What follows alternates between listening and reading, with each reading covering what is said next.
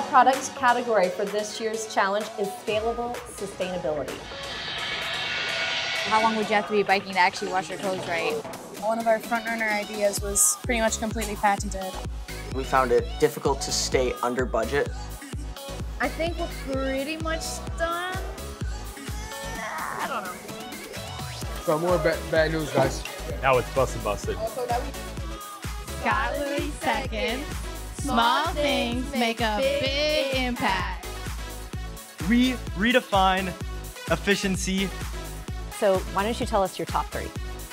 Winner, the custom made trophy are.